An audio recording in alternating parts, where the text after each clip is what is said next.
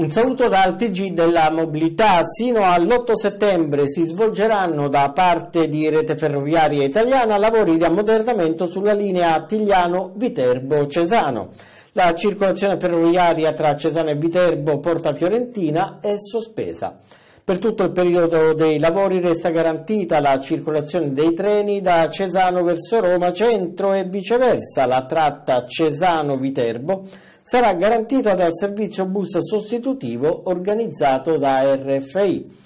La stazione di Cesano sarà quindi lo scambio principale treno-bus e capolinea dei pullman sostitutivi con salita e discesa sul piazzale davanti alla stazione. Per ora è tutto, appuntamento alla prossima edizione.